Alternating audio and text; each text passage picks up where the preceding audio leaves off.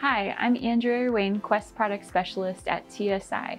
In this video, you will learn how to calibrate an edge noise dosimeter. For this video, I will calibrate the Edge 4 Plus.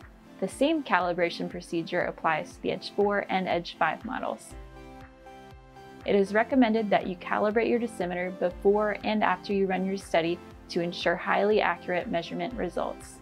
To calibrate the edge, you will need an AC300 AcoustiCal calibrator and a calibrator adapter for a quarter inch microphone. First, remove the windscreen by turning the red ring counterclockwise.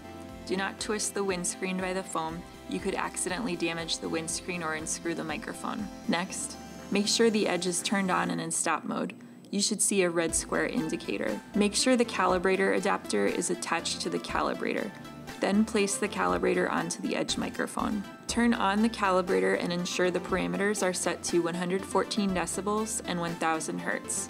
After a few seconds, the dosimeter will recognize the calibrator and the abbreviation CAL will display on the screen. If CAL does not display, you can activate calibration mode by pressing and holding the up and down arrows at the same time for 3 seconds. Now press enter to show the calibration screen. Press the up or down arrows to adjust the on-screen value to 114 decibels. Wait a few seconds to make sure the value has stabilized at 114 decibels. Then, press the enter button to save the calibration. A shaded bar will appear loading your calibration information.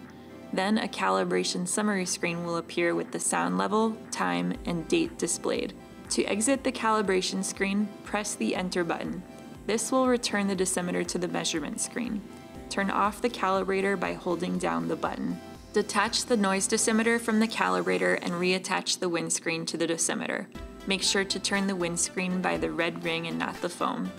Your dosimeter is now calibrated and ready to begin a study. Thank you for watching this video on how to calibrate TSI's Edge noise dosimeters. Be sure to check out more of our videos at tsi.com.